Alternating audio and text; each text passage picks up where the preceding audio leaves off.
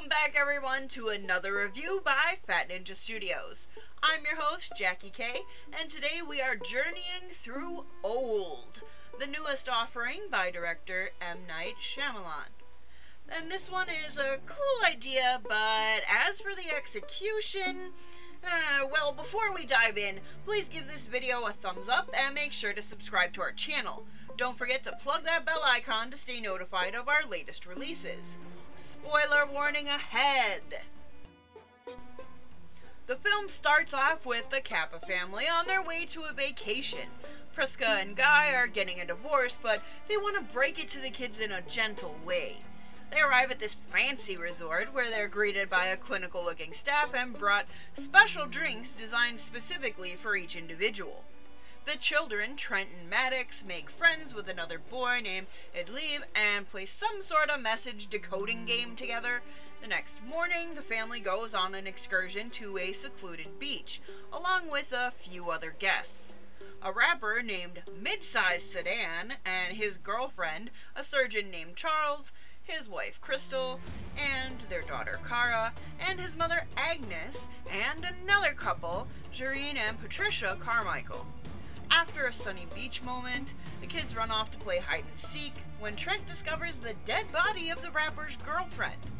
The surgeon immediately blames the rapper, but Sedan swears he had no idea. He, she just went for a swim. Sedan's nose begins to bleed, and he reveals he suffers from hemophilia. Like an hour later, Agnes and her dog die, and the people on the beach realize that they are aging rapidly, the equivalent of one year for every 30 minutes. When they try to leave, they are overwhelmed with headaches and just wake up back on the beach. Swimming away also won't work, as proven by the rapper's dead girlfriend. The kids are also starting to grow rapidly, getting too big for their clothes and exhibiting other puberty changes. Charles, for some reason, decides to keep antagonizing Sedan and cuts him, and the group watches as it rapidly heals like he was Wolverine or something. The kids discover some old journal in the sand, but it's filled with coded messages. Then Prisca develops a stomach tumor that rapidly grows, so they perform an amateur surgery right there on the beach. And when they remove it, it's the size of a cantaloupe. Meanwhile, Trent and Kara are now the equivalent of 17 years old, and they decide to get it on, and Kara gets pregnant and is rapidly showing. She tries to give birth, but the baby immediately dies. This causes Crystal to lose her mind, and her husband Charles already has been losing his due to schizophrenia. We find out that Charles just randomly killed Sedan, and then the rest are even more motivated to get the hell off the island. Jarin tries to swim but drowns. Kara climbs to the cliff face and falls off and dies.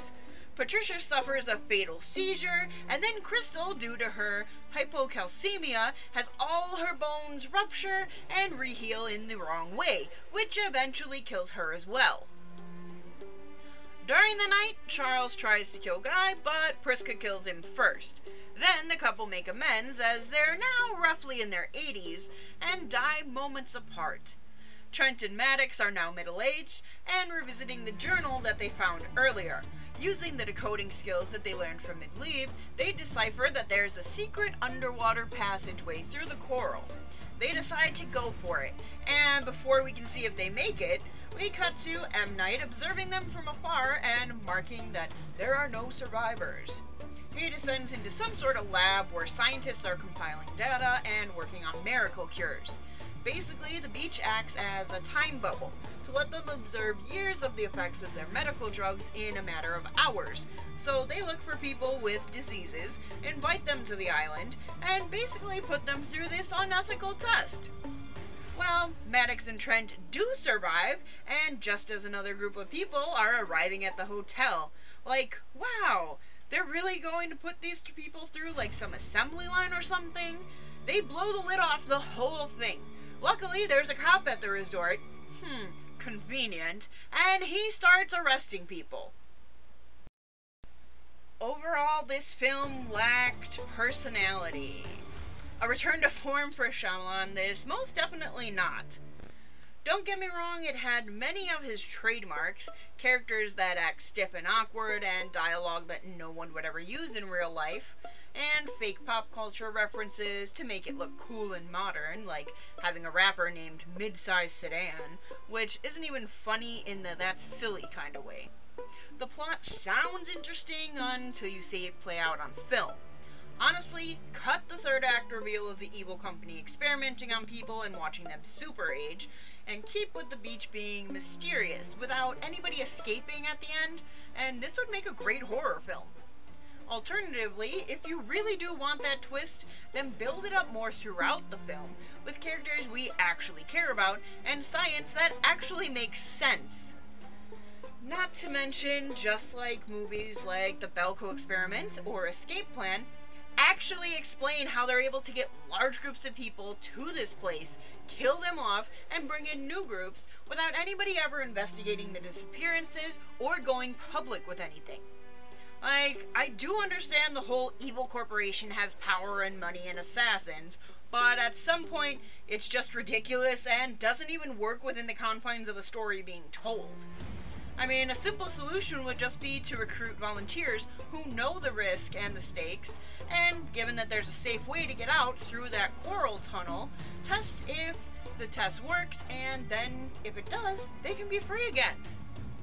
I don't know. Overall, I'm going to give the film a 5.5 out of 10. Almost a 6, but when I rewatched it, its pacing is so erratic that it made it a slog to get through since I already knew the ending. But if you're desperate and curious, go ahead, watch it, check it out. But otherwise, feel free to skip this one. You're not missing anything. I do want to thank you all for checking out our video. Please give us a like, share, and subscribe to our channel. If you'd like to reach out to us, you can do so on Twitter at StudiosFAT or on Discord, which is linked below. Please also take a moment to visit our Patreon, also linked below. I've been your host, Jackie K.